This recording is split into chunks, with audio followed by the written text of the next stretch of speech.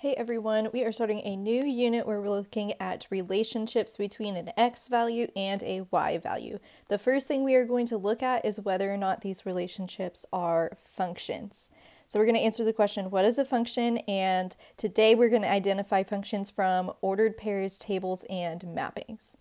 So a function is where each input or x value has exactly one output or y value. So we only want our x values going to one y value. And this is how you tell that. It's pretty easy. If there are repeating x values, then it is not a function. So you can think about this like a Coke machine. If you press a button on a Coke machine, you only want there to be one output. Like if you press a Coke, you only want there to be a Coke. You don't want it to possibly give you a Coke or a Dr. Pepper.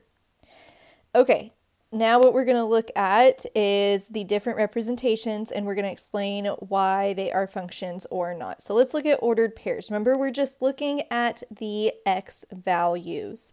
So my x values here are 1, negative 1, 3, and negative 3. Since those are all different, that's why it is a function. Because all the x values are different.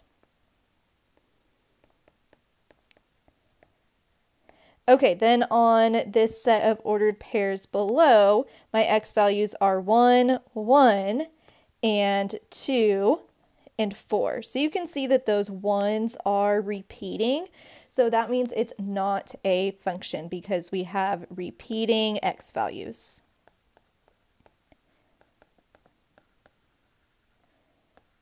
Okay, now we're going to look at tables. It is really similar. We don't care about the y values in a function. We just look at the x values. So my x values are negative 1, 0, 1, and 2 in this first table.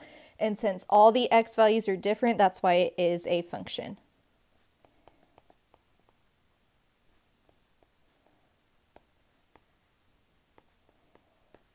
Okay, then in the next table, my x values are 1, 2, 3, and 3.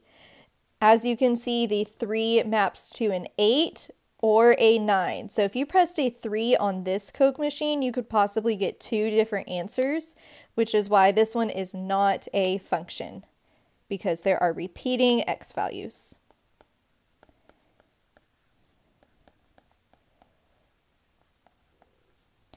Okay, then our last representation that we're going to look at is a mapping. This one I think is most like the Coke machine. So whenever you press the input or the X value, you only want it to give you one output. There's only one arrow coming from each of our inputs. So that's why this is a function because each input only has one output. Each input, which is an X, only has one output or y. Okay, then if we look at this mapping that's not a function, as you can see right here, this 1 is going to 7 and to 9. If we pressed that on a Coke machine, it could possibly give us a Sprite or a water bottle, which is not what we want. That's not a functioning Coke machine. So this is not a function because an input, which in this case was 1, has two outputs.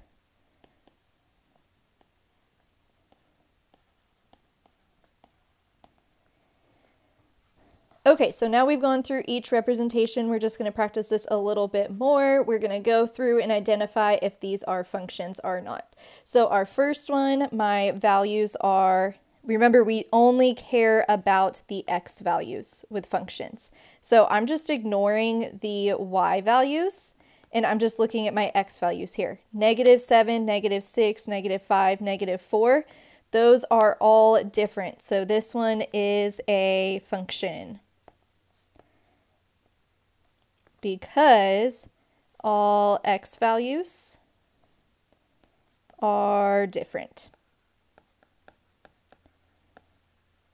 Okay, now we're to look at this table and I can see I have some repeating x values. I see 4 in there three times and I see some repeating twos. So this one is not a function.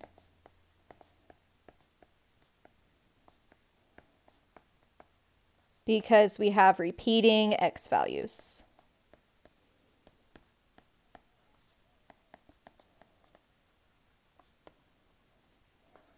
Okay, this next one, it is a mapping. Remember, we only want every x value to map to one y value, but look at 5. It's going to 2 and to 3.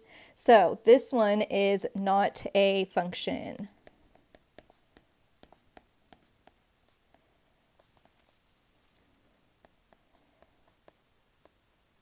And we would say an input our input of 5 has two outputs.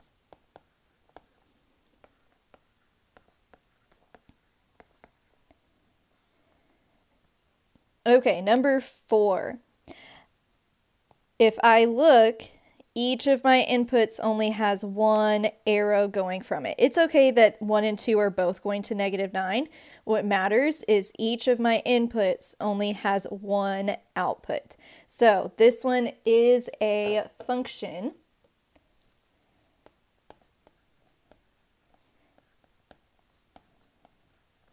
because each input has one output.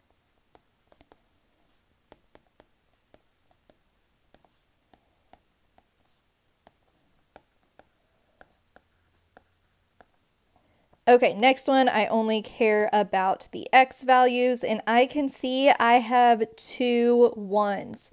So this one is not a function.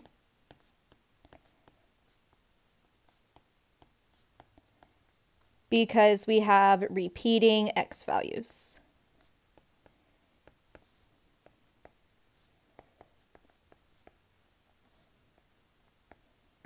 All right, last one, a table. Again, all I care about is my x values. I have negative 2, negative 1, 0, 1, and 2. Those are all different, so that means that this representation is a function. Because all x values are different.